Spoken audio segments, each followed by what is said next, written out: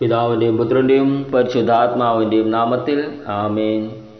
എന്റെ ഈശോയെ ജ്ഞാനത്തിന്റെ ഉറവിടവും എന്റെ ശക്തിയുടെ ഫലവും ആത്മാവിന്റെ സന്തോഷവും ആയവനെ ഓരോ പ്രഭാതത്തിലും കരുണയോടെ അങ്ങനെ ഓർത്തുകൊണ്ട് വിളിച്ചുണർത്തുന്നതിന് ഞാൻ നന്ദി പറയുന്നു.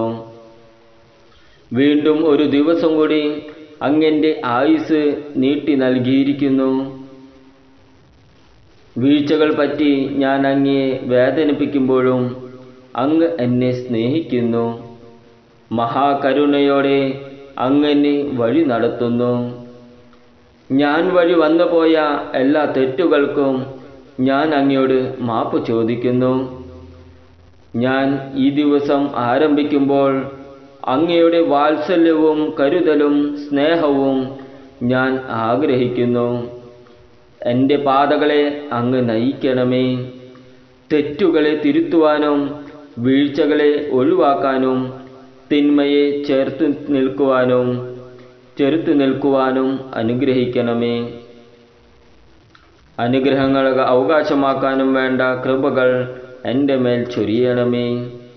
എന്റെ ഇഷ്ടമല്ല അങ്ങയുടെ ഇഷ്ടങ്ങൾ അന്വേഷിക്കാൻ എന്നെ പഠിപ്പിക്കണമേ.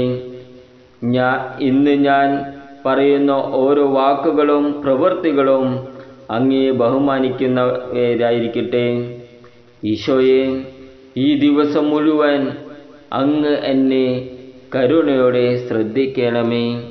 ആമേൻ. സങ്കീർത്തനങ്ങളുടെ പുസ്തകമായ അറുപത്തിയാറാം അധ്യായം. ഭൂവാസികളെ ആഹ്ലാദത്തോടെ ദൈവത്തിന് ആർപ്പു വിളിക്കുവിൻ. അവിടുത്തെ നാമത്തിന്റെ മഹത്വം പ്രകീർത്തിക്കുവിൻ. സ്തുതികളാൽ അവിടുത്തെ മഹത്വപ്പെടുത്തുവിൻ. അവിടുത്തെ പ്രവർത്തികൾ എത്ര ഭീതിജനകം. അങ്ങയുടെ ശക്തി പ്രഭാവത്താൽ ശത്രുക്കൾ അങ്ങേക്ക് കീഴടങ്ങും. ഭൂവാസികൾ മുഴുവൻ അവിടുത്തെ ആരാധിക്കുന്നു. അവർ അങ്ങേ പാടിപ്പുകഴ്ത്തുന്നു. അങ്ങയുടെ നാമത്തിന് സ്വസ്ത്രം ആലപിക്കുന്നു. ദൈവത്തിന്റെ പ്രവർത്തികൾ വന്നു കാണുവിൻ. മനുഷ്യരുടെ ഇടയിൽ അവിടുത്തെ പ്രവർത്തികൾ ഭീതിജനകമാണ്. അവിടുന്ന് സമുദ്രത്തെ ഉണങ്ങിയ നിലമാക്കി അവർ അതിലൂടെ നടന്നു നീങ്ങി. അവിടെ നമ്മൾ ദൈവത്തിൽ സന്തോഷിച്ചു. അവിടുന്ന് തന്റെ ശക്തിയിൽ എന്നേക്കും വാഴും. അവിടുന്ന് ജനതകളെ നിരീക്ഷിക്കുന്നു. കലഹപ്രിയർ അഹങ്കരിക്കാതിരിക്കട്ടെ.